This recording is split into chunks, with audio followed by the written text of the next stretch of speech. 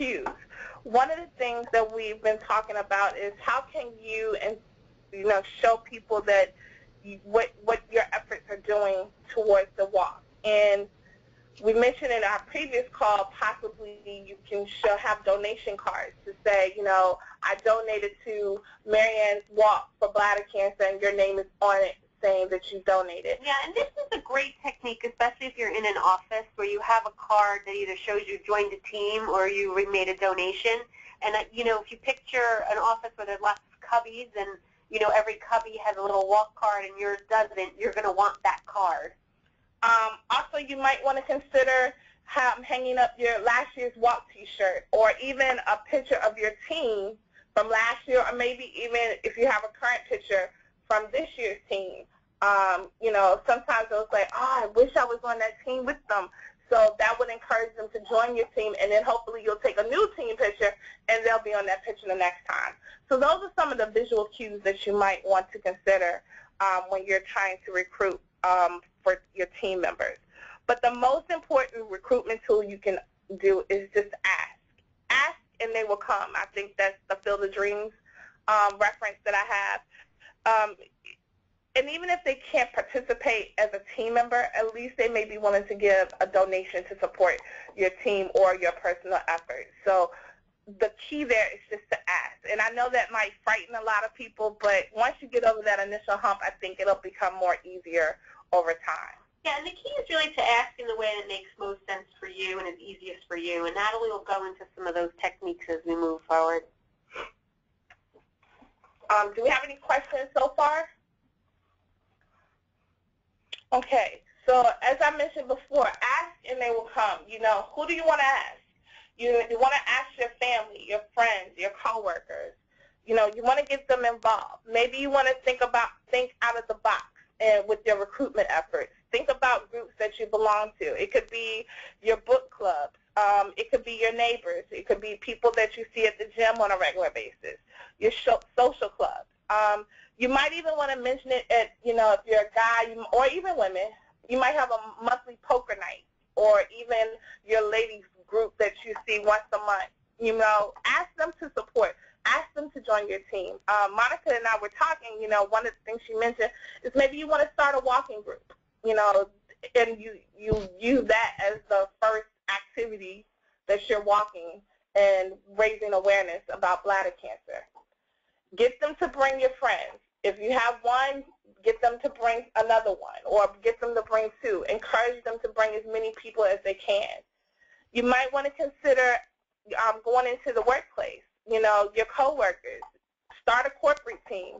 Um, asking your place of employment, you know, if they're interested. You know, a lot of times companies are looking to demonstrate their commitment to their local community. And this, what better way is to start a, a corporate team at a walk. Yeah, and often corporate teams will underwrite the registration fee. So if a company can't be a sponsor of the walk, but you know your company wants to support you as an employee, they may pay for 10 registrations or 20 registrations. Okay. Um, also, you want to try to work to, you know, email some of your contacts. You know, if if you have um, contact, you know, we've been sending out these e-postcards. You know, you might want to send that e-postcard out, e-postcard out to some of your contacts and encourage them to just simply click on it and register. Um, or, you know, one of the other things that you could do is possibly put it in your email signature, and I'll talk about that later. But, you know, one of the most important things that you can do is generate excitement around your recruitment efforts and I'm going to share some techniques on how to do that later on. But you know, think about something simple. Share your bladder the a story. If you're a survivor, tell them why it's important for them to walk or um, donate. You know, maybe it's sharing bladder cancer facts, and we can definitely help you and give you some facts to provide. You know, one of the techniques that we've seen is that we've had uh, a a, a team captain put a bladder cancer fact on her Facebook page and then the link to her walk. So she showed the importance of why someone should give and participate in the walk by simply expressing facts related to bladder cancer. Yeah, and she did this every day. So it got to the point where people were excited and they wanted to see what the next fact was that she was going to promote. And maybe you even want to just have a personal challenge. You know, a lot of times people say, you know, they want to, you know, challenge their friends or a group of uh, coworkers or anything like that, something like that. So that's something you might want to consider also. So those are just some quick tips that you can use in real recruitment efforts. Now we mentioned company support and, you know, a lot of times, you know, it, it's it's a matter of going to management and asking them to help you endorse and, and help them get them to endorse your efforts. You know, it, you know, it could be as simple as them announcing that they're going to support you and they want everyone to join you you in your efforts. Or maybe they can send out a communication. Um, maybe they're the ones that are going to say, "Oh, I'm going to step up and work with with Mary Beth," and I want to encourage everyone else to to step up and join us too. So, you know, go to that high-ranking official or management or even your community relations or your human resources department to see if they can help in your efforts.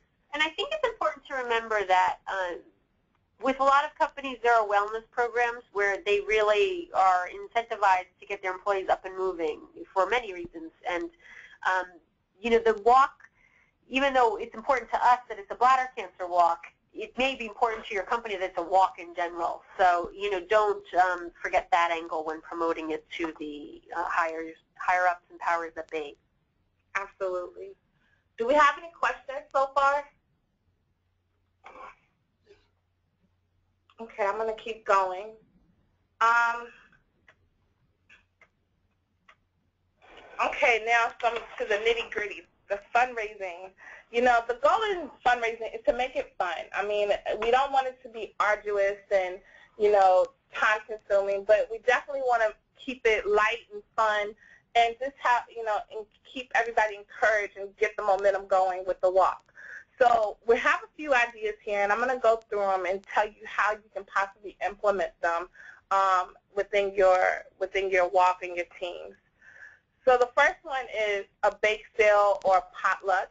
And what you would have people do is make donations to support your walk for your team, and then they have the opportunity to have a tasting so they can taste those delicious brownies that you made or the delicious brownies that you bought from the bakery down the street.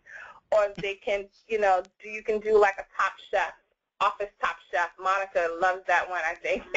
An office top chef, so you know, you can have they can have a taste of yeah, it's great. You get, you know, three or four employees that, you know, it really depends on the size of your company to make a dish and bring it in one day. And everybody pays $5 to taste each dish and then they rank them and, you know, the winner gets a special prize. And of course you want to be friendly, not like the real Top Chef, and uh, only announce the winner. Don't, don't rank everybody in the order that they won or didn't. Um, but it's a big hit, especially um, it creates a, a fun day in the office. Um, you might want to consider silent auctions. I know some of the walks, if I'm, and I'm not sure if they're on, but some of the walks will be conducting silent auctions before or after their events. So that's another source of revenue that you can have that, you know, it's pretty quick. You can ask community shops and uh, in the organizations to donate items to the auction, set it up for a small amount, and highest bidder wins the auction. You can consider raffles, and that something I'm going to have Monica speak about, but you know, each state is different in their regulations. So Monica, you might. Yeah, you, before you do any sort of raffle or 50-50, and in most states, silent auctions are fine. And, and, and what I urge people to do is if they want to try a silent auction, start small. You, you know, you don't really need more than five items, and um, you know, just get some nice items, and um, it's pretty easy to manage. But if you're doing a raffle or 50-50, it ranges from state to state. For example, New York and New Jersey have tight restrictions on what you can raffle. And you certainly don't want, if you're in a public park, for the authorities to come by and, and um, sort of bust you and, and, give you a fine for that. So um, again, there are some states where they have no restrictions at all on those types of raffles. Okay. Um, one other thing, I know that Marianne's on the line, is a dine to donate. You know, they, you have a, restaurant who will who's willing to give maybe five percent of the total sales from that day, or if someone comes in with their walk T-shirt, they'll donate ten percent of that ticket to support your walk. So, Marianne, um, would you like to talk about how your Dine to donate works in your area for Jersey Shore?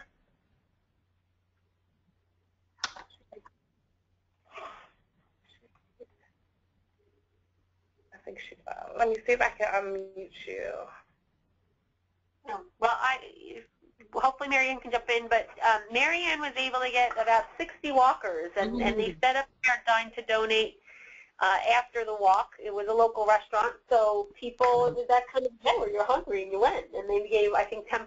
10%. Yeah, they donated 10% of any walker who comes in there to eat after the walk. And I'd say we probably had at least 60 people last year, and they're going to do it again this year.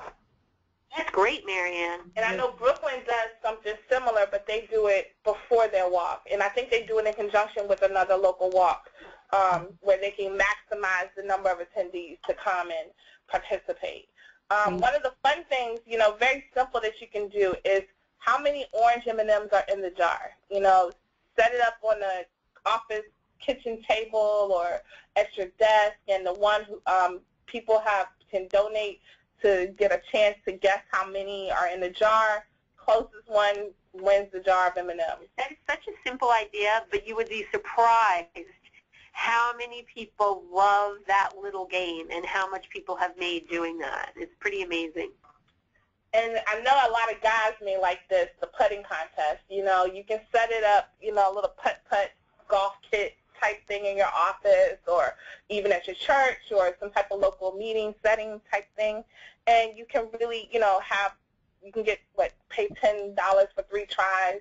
Yeah, we've had people do this in companies, but also in their backyard, um, you know, at a barbecue. And, you know, it's, it, people love that little sense of competition, seeing what division is going to win, and it becomes a, a big um, kind of to do. And at the company that we did it, it raised $400 in one lunchtime. So um, it was a pretty good contest, and the winner was pretty happy. And you can also use it as an awareness tool also. So, you know, as they're participating, you're bringing awareness about bladder cancer. Donation jars. Simple as it can be, you can put a donation jar, like I said, in that in the section of your office where a lot of traffic comes through you can put it, at, you know, maybe a local diner or a local bakery will allow you to put a donation jar in there and then, you know, the loose change from the day or what they could would possibly use as tips can go in there for the day. And that money would go to support your walk or your team's effort. So very simple, very and easy. The donation jar is also good if you want to change some bad habits. So it could be your swear jar. It could be um, you know, if you want to cut down on getting Starbucks, you can put your Starbucks money in there daily. Um, so you can use it in a lot of creative ways. Which brings it to another creative way you can use it is your brown bag days or potlucks. You know, instead of buying lunch every week, which I'm every day, which I'm guilty of, I should just probably bring my brown bag and take my ten dollars that I would spend typically on lunch and put it in that donation jar, and I'm sure I would probably have a thousand dollars by the time it's time to do the walk. so, um, but you know that's something simple, and, and and you know if you get yourself and maybe five other coworkers to do that with you, imagine how much money you can you can easily raise in a short amount of time. dedicated it once a week. You know that is a great way to raise money. We all know the average lunch is probably ten dollars, so that's probably one of the easier ways. And um, one of the other things we were, you know, that we mentioned wanted to mention is possibly, you know, if, you know, for ladies at least, if you're a Mary Kay rep or an Avon rep or 31 consultant, you may want to consider possibly donating a portion of your sales um, to the walk. So maybe it's 5% of the total sales from that particular, uh, what do you call it, event you would donate to the walk. Or if, you know, if you aren't a rep but you have a consultant, maybe you can ask them if that's something that they would be interested in. You know, like I said, the most important thing is to ask. If you ask, you know, you never know what the possibilities could be. Yeah, and you know, events can be very creative, and I think as we're talking about these things, you know, we we run the spectrum from the very simple and easy to do, like a you know throwing your loose change in a jar, to more elaborate events. And that's really going to depend on your team and the people that are around you and what you're motivated to do. I mean, you can do something as simple as a jeans day. There are still offices where you can't wear um, jeans to work on Fridays, but they'll do a special day for a charity. So something simple like that, or something like, you know, having a wine tasting at your house where everybody makes a donation to BCAN and you sign them up for the walk and your team. Yeah. Those are just some quick and easy fundraising ideas. And like I said, it's definitely, these are all fun and they're intended to be fun so that you can, you know, definitely recruit and raise money at the same time um, towards your team and your does anyone else have some ideas or I know that we have quite a few people online so I know we have some past um, team captains. Um, any ideas or best practices they may have that would they would like to share with the group?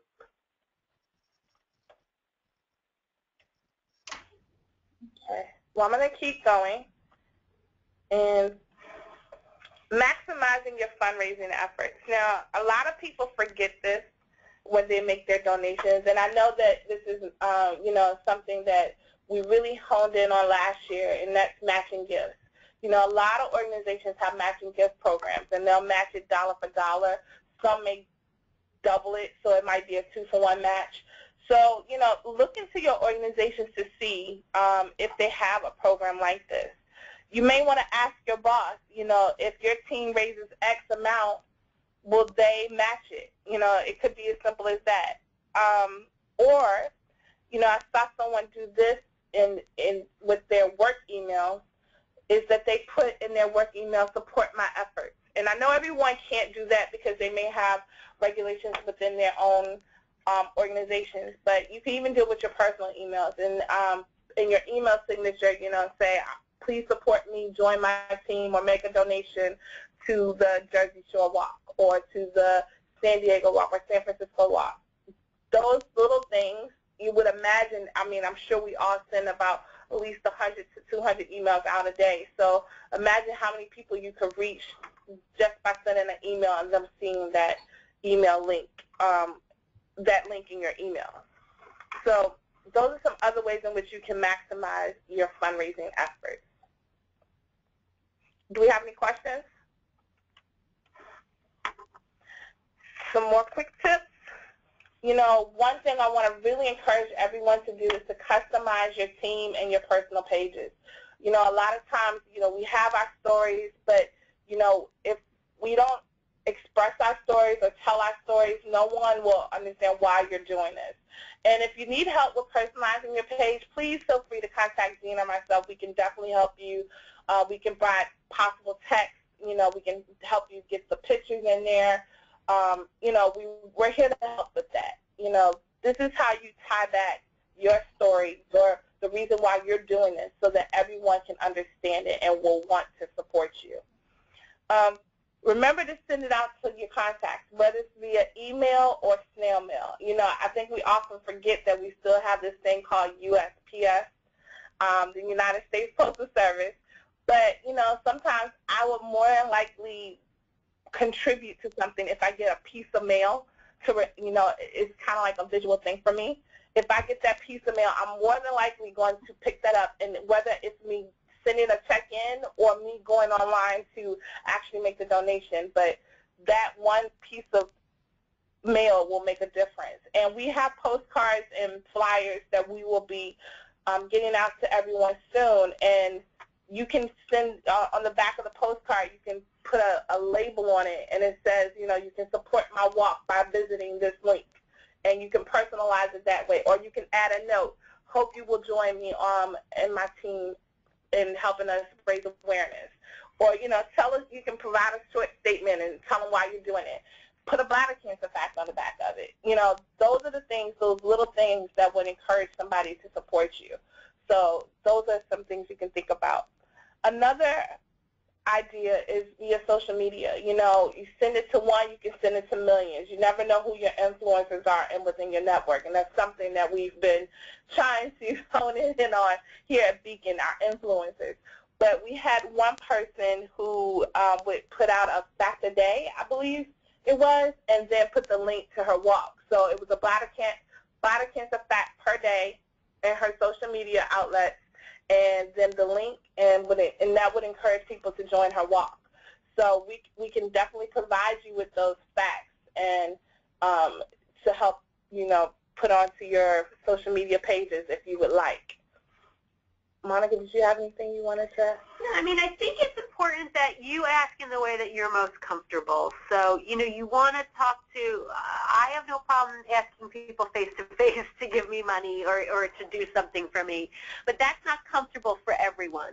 So, you know, if email is your, is your method of choice, we have great tools online in your personal center or participant center that you can use. There's email templates already done that you can personalize. Um, you know, if you know most of your friends and family look on Facebook, that's where you should be posting. If, you know, you want to start a meetup group, you know, around doing a walking club, um, and you use Meetup or something like that often, you know, you can do it. If you're allowed, you know, you have more of a professional network, LinkedIn is a great source. So there's so many different ways to reach people um, that any of these methods will work. I think when we're talking about recruitment, there are some easy tips that I know from people that um, through the years have worked. And, you know, I always quote this one guy who would put up a note in the kitchenette at work that said, brownies in my office. And when you came into his office, he handed you a walk registration form. so he gave you that brownie, but you had to register. Um, you know, I've had people who've thrown bagel breakfast parties, you know, whether it's before church or at their workplace where they bring in bagels and everybody registers together. So that's their little treat. Um, getting a, a gift card from you know the local restaurant and having a little little prize challenge to um, the winner, whoever recruits the most team members gets the gift certificate, or whoever on the team raises the most money gets the gift certificate. These are simple, easy things that aren't time intensive that will help you get um, more walkers and raise more funds. So um, in the end, it's, it's more that we have for our mission work, and that's what's really important here. Yeah, definitely. And one final thing that I want to just remind everybody about, and you know, we last year we started our BCAN Blazers program, incentive program, and it's back again this year. So we have some great prizes. Um, I can't remember all of them right now, but um, we're definitely going to be instituting that again. You know, a lot of people qualified for these prizes. If I'm not mistaken, at least over probably 500 people qualified for these prizes last year. So definitely, you know, we want you to raise funds and have fun doing it. And then, you know, as our token of appreciation, a special thank you, you know, these are some of the the ways in which we want to say thank you. You know, and I get asked a lot about fundraising incentive programs because I think people wonder, you know, well, what are you spending on those prizes? And um, if you know me at all, I'm very cheap. So, um, you know, we feel it's important. It, it's funny. People like having that little that little gift, and they're proud of what they've done to fundraise. So, when we look at those kinds of programs, the return is so much bigger than than the minimal cost for us and then somebody has something with the BCAN name and logo out in the world that somebody can say, hey, what's that organization? So it's a way that we can increase our reach and talk about bladder cancer as well. Not to mention they may ask, well, how did you get that? And you can revert back and say, well, you know, I did the walk, I was on this team, and we raised all this money, and, you know, if you join my team, then, you know, you can definitely get one of these too. So it it all works. It comes full circle, and you know, it's a way for us to just say thank you. So, does anyone have any questions, comments, best practices? Uh, we we definitely want to make this an interactive. I know we have a lot of past team captains on the call, so um, if you could share your experiences, we would love to hear them.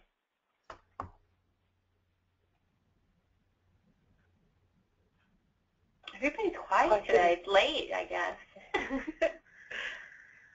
Well, if we don't have anyone who would like to share, um, we just want to say thank you for joining. Um, we will definitely be getting some of these tips out the, um, towards the end of the week. And, um, and if you have have any questions or you need any help with your efforts, please do not hesitate to give us a call. We're here to help. Gina and myself are definitely here to help, and we want to work mm -hmm. and to make sure that this is successful for everyone. So, um, Natalie, this is Mary. I have a question. Uh-huh. Um, Okay, I was wondering if we wanted to create a flyer or have our friend who's an art, you know, a designer or something do it, and we want to do it soon. Is that something that we can do and get approval on, or get logos from you all, or how would you recommend we do that if we want to post something? Yes. So there's a couple things. First of all, the walk poster itself is has fill-in information. So if you're talking from the standpoint of being a walk organizer, we do um, recommend that you use our artwork, but if you have somebody, we can use it as approval. If you're talking about doing a flyer around a team, you really have leeway to do what you want. I, I always ask that people keep it in good taste, but um, you know, if it's just something that you're promoting your team, you don't need any approval from BCAN to do that. You can make your own flyer or make something cool um, and, you know, link back. And if you need help with any, you know, pictures from last year's walk or something like that, we have some. We definitely have those on file for. Yeah, especially for people who have new walks and you're looking for some, some custom art, you know, we can do that. Um, you know, I always tell people take your team picture from last year and put block out somebody's face and say your your face here, and uh, you know people will get the hint that you want them to join you. Okay, great. Thank you. Sure, sure. Anybody else have any questions?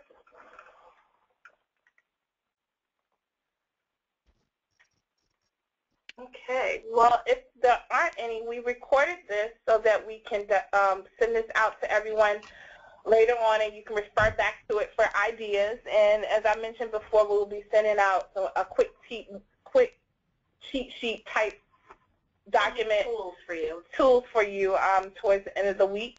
And it's just a one, quick one-pager that you can use um, to, to circle back to.